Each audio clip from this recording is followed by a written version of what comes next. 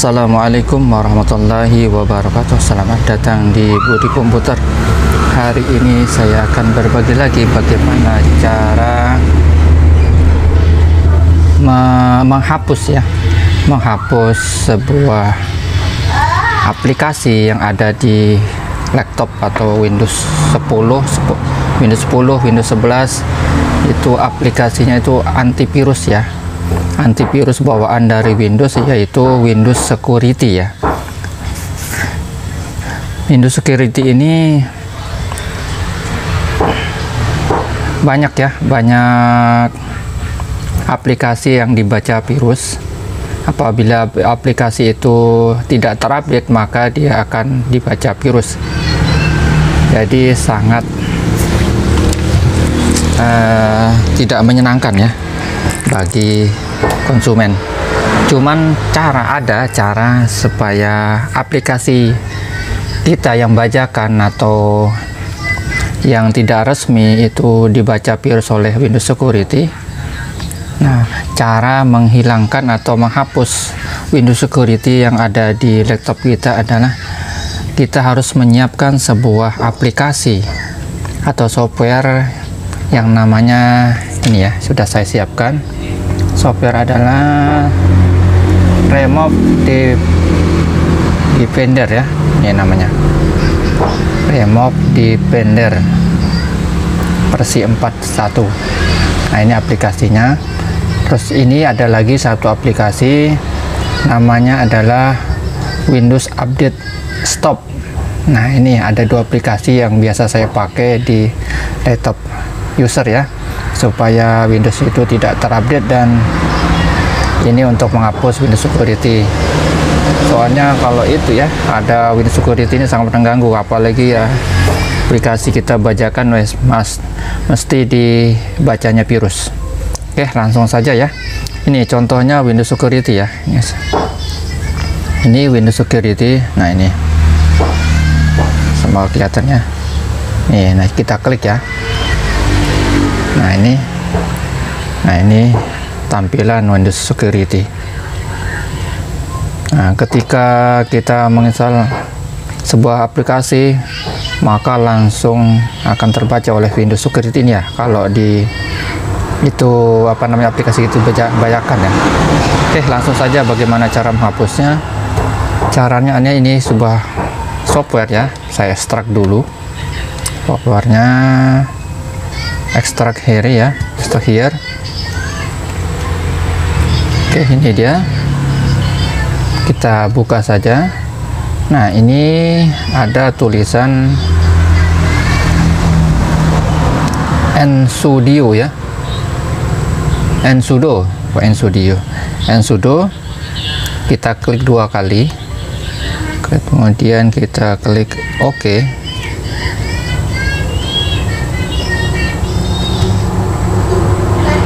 ini pada menu ini ya tampilannya seperti ini.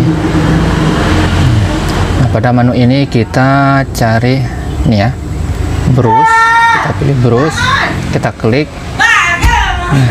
Nah setelah itu kita cari desktop ya karena kita taruh di desktop tadi. Desktop desktop. Mana desktopnya ini nah ini ya desktop. Kita cari file yang kita ekstrak tadi ya. Ini nama ini tadi Windows Remover. In Remove Defender kita klik dua kali. Kita cari ini ya Remove Defender. Kita klik dua kali. Kemudian kita klik Run. Maka akan muncul seperti ini tampilannya ya. Nah silakan klik tombol satu di sini ya satu. Nah nah akan muncul seperti ini. Hmm. ya muncul seperti ini kita klik saja oke OK.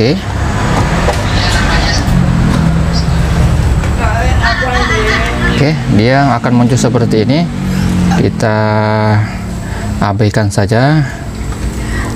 Nah ini nah ini ya. Perhatikan tulisannya. Windows Defender has been removed successful nah ini tandanya sudah terhapus ya Windows Security-nya. Nah, baru kita klik OK saja. Kita buang semuanya ya yang di layar. Kita buang. Nah, maka Windows Security-nya sudah terhapus ya. Nah, ini kita cek dulu di sini. Ini ya, masih ada ya. Nah, setelah kita restart maka akan sudah hilang ya uh, Windows uh, Windows uh, apa namanya Windows Security ini. Nah, kita tes dulu ya. Kita tes restart ya. Kita restart laptopnya.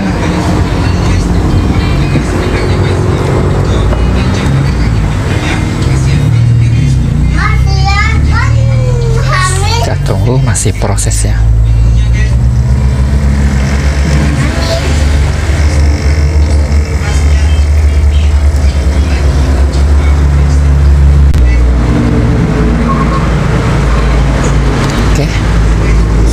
Terbuka ya.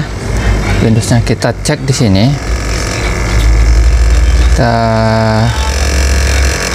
klik di sini ya. Klik di sini. Nah sudah tidak ada lagi ya. Windows Security. Nah, artinya sudah terhapus ya Windows Security nya wah ini ada suara kipas laptopnya ya. Agak berisik. Hmm. oke okay yang kedua adalah kita install sebuah aplikasi ini ya. Windows Update. Stop ya untuk menyetop supaya Windows kita tidak terupdate otomatis. Nah kita klik dua kali.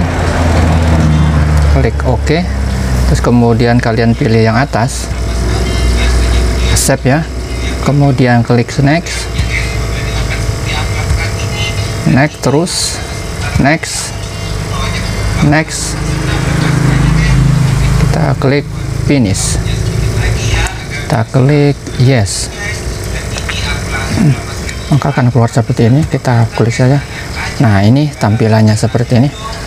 Nah Windows Update Stop nah ini karena sudah apa namanya ini di laptopnya sudah saya kasih Windows Stop ini maka tulisan tulisannya disable ya Nah, nanti kalau kalian baru pertama kali uh, install aplikasi ini, dia tulisan di sini